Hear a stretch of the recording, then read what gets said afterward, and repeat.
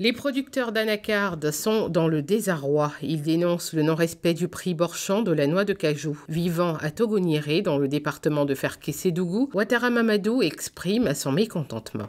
Les commerçants viennent nous payer le kilo à 200 francs, soit à 150. À l'heure où je vous parle, c'est à 150 le kilo. Et quand tu es dans des conditions où tu ne peux pas, par exemple, si tu as des funérailles ou bien tu as un malade, la personne est obligée d'aller vous donner ça a des moins prix pour pouvoir euh, survenir à ses besoins. Mais il ne peut, il ne peut rien faire. Comment expliquer ce non-respect du prix borchant de l'anacarde en zone rurale? Pour avoir une réponse à cette question, nous sommes allés à la rencontre du directeur régional du ministère de l'Agriculture et du Développement rural du Tchologo. Pour ce qui concerne le prix, nous sommes à 315 francs fixés par le gouvernement de Côte d'Ivoire. Donc c'est ce prix que nos producteurs doivent vendre leur production.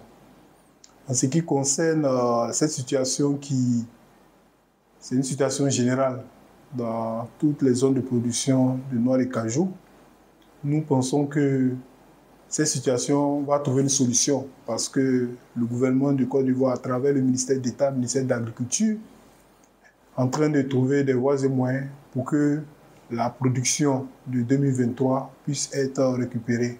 Le prix Borchamp plancher obligatoirement de noix brutes de cajou est fixé à 315 francs CFA pour la campagne de commercialisation 2023 contre 305 francs en 2022, soit une hausse de 10 francs CFA. Le ministre d'État, ministre de l'Agriculture et du Développement rural, Kobe Nankwasi Adjoumani, l'a annoncé au cours d'une conférence de presse tenue le vendredi 3 février 2023.